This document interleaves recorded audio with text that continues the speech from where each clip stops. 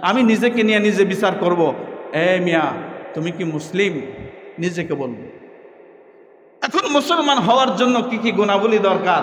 একটা একটা করে আমি চোখের সামনে ভাষায় দেই যে আসলে মুসলমানের করণীয় কি? মুসলমান করবে কি? মুসলমানের বর্জনীয় কি? মুসলমান ছাড়বে কি? মুসলমান কি করবে? আর মুসলমান কি করবে না? মুসলমানের চরিত্র কেমন হবে? মুসলমানের পরিবার কেমন হবে? মুসলমানের চলাফেরা লেনদেন কেমন হবে? মুসলমান সাবেজজ্ঞতা কেমন হবে? এইটা যখন আমি আমাকে নিয়ে বিচার করব, তখন বুঝে আসবে আল্লাহ যে কইছে, ইয়া ইউহাল্লাজিনা আমানু ইমানদারদেরকে বলছে, মুসলমান না হইয়া মরিস না। তাইলে মনে হয় আল্লাহ আমারই কইছে।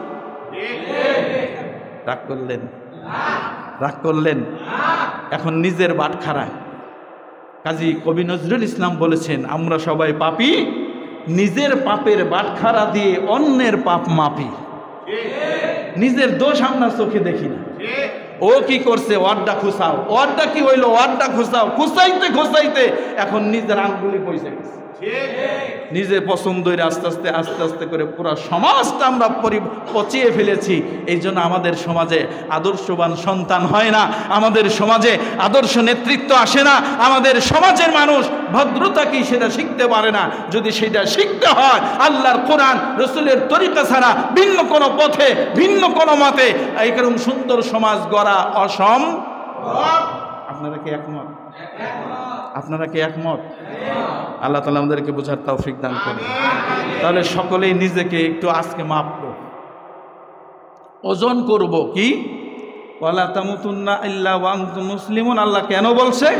আল্লাহ মুসলমান না হয়ে কবরে গেতে নিষেধ কেন করছে? তাহলে আমি কি মুসলমান আছি কিনা একটু কি করব? ওজন করব। কাকে দিয়া? নিজেকে নিজে ইমাম সাহেবের কাছে যাওয়া দরকার নাই, বাজারে স্বর্ণকারের কাছে যাওয়া দরকার নাই, লাকড়ির দোকানে বড় পাল্লা পাথর আছে, ওখানে যাওয়া দরকার নিজের বাটখারাই নিজে মাপবে, নিজেকে। এবার চিন্তা করেন, আমার বয়স হয়েছে চল্লিশ বছর।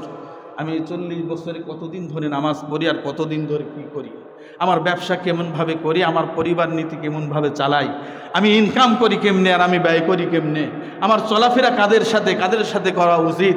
এখন যদি এইটা আপনি মাপেন দেখবেন অটোমেটিক আপনিই বলবেন যে হুজুর একটু তওবা পড়ায় দেন।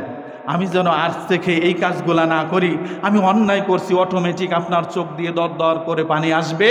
আর এই পানিটুকু আপনাকে বিগত দিনের গুণাগুলো মাফ করে দেওয়ার জন্য আমার আল্লাহ যথেষ্ট। আরও জোরে বলেন সোবাহান আল্লাহ মাফ যিনি করতে পারেন তিনি কে? আরও জোরে বলেন তিনি কে? সে আল্লাহর দরবারে ফিরে এসে কাম ব্যাক ইলা মাগফিরাতিম মির রাব্বিকুম। আল্লাহ কয় দৌড় দে ওয়াসারিউ। দৌড় দে। ইলা দিকে মাগফিরাতিম মির রাব্বিকুম। তোর রবের ক্ষমার দিকে দৌড় দে। যেই রব তোকে ক্ষমা করবে যেই রব তোকে মাফ করবে যেই রব তোকে নিষ্কাশন করবে যেই রব তোকে জান্নাত দিবে ওয়াসারিউ। দৌড় দে সেই রবের দিকে সুবহানাল্লাহ। আমরা